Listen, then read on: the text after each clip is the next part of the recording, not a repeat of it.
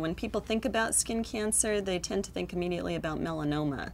And melanoma is certainly a very important cancer. It's the skin cancer that kills the most people every year in the US. But actually, basal cell and squamous cell carcinoma is much more common than melanoma. Melanoma, there are about 80,000 cases per year in the US, and basal cell and squamous cell carcinoma, there are well over a million cases a year. Melanoma comes from a certain type of cell in the epidermis called melanocytes, and those are the cells that give pigment and color to our skin. And when those cells go wrong, when those melanocytes go wrong, that gives rise to melanoma. On the other hand, basal cell and squamous cell carcinoma grow from a different kind of cell in the epidermis, a completely different type of cell called the keratinocyte, which is actually the main cell of our epidermis. And those cells are constantly being damaged by ultraviolet radiation from the time that we're born.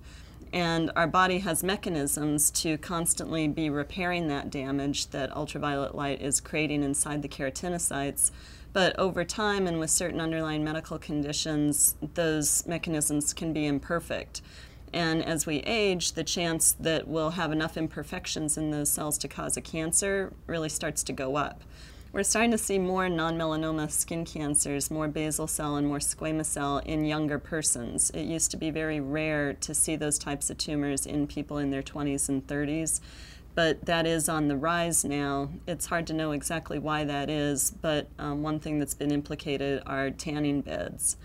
And people, especially young women who've gone to tanning beds repeatedly, we're starting to see these basal cell and squamous cell cancers at a much younger age in those persons. The main risk factor for basal cell and squamous cell carcinoma is sun exposure, particularly sunburns. People with, with light skin who are susceptible to sunburns have the highest risk of developing these skin cancers. Tanning is, is also a risk factor, so people who seek out the sun over the years and get a lot of cumulative ultraviolet exposure through habitual tanning, they're also at an increased risk.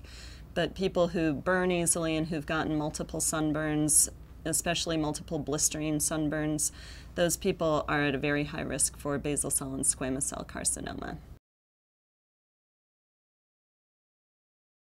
The treatment for non-melanoma skin cancer depends first of all where it is in the skin. If it's just right on the very surface of the skin in the epidermis, where most of these tumors start, then you may not need surgery for those.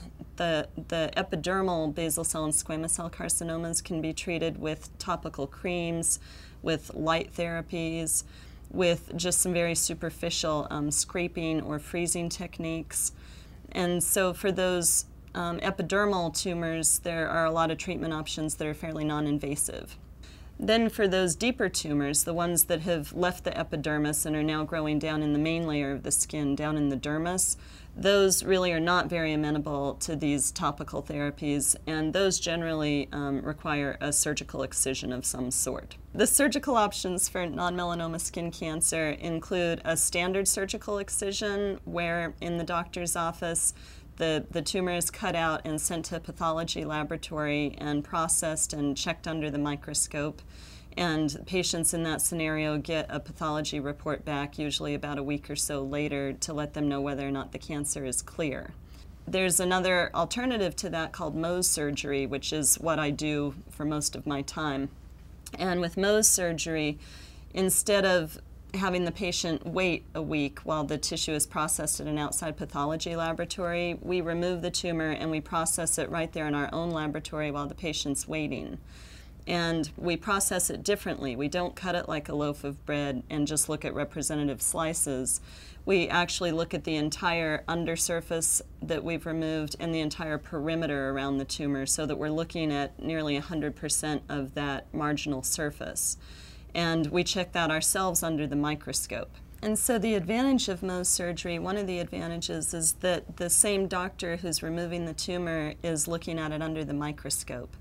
And the benefit of that is that when I'm looking at that under the microscope, I can see exactly where any residual tumor is. I know if it's in the epidermis, I know if it's in the dermis, I know if it's in the fat, I know if it's on the right hand side of the wound, the left hand side, And so then I can be very precise when I go back and remove more tissue from the patient, and I can remove additional tissue just in that area that's positive.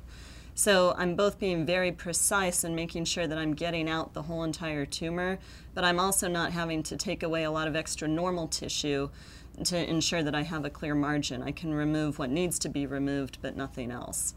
Once we know that the patient has a clear margin microscopically, then we reconstruct the wound that same day in our office.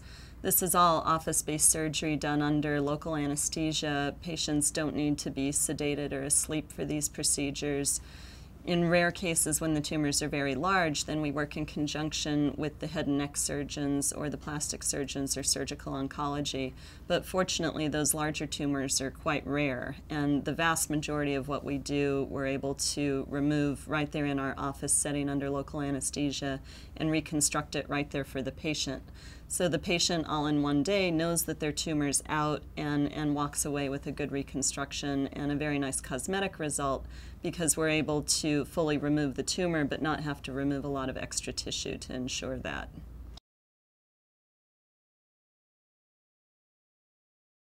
When I arrived at Brigham and Women's, I founded the first clinic devoted to non-melanoma skin cancer patients in Boston. And in this clinic, we see patients who either have had difficulty with multiple non-melanoma skin cancers, the patients who I mentioned who have multiple tumors over their body in different stages, or patients who just have one particularly high risk, troublesome, aggressive basal cell or squamous cell carcinoma.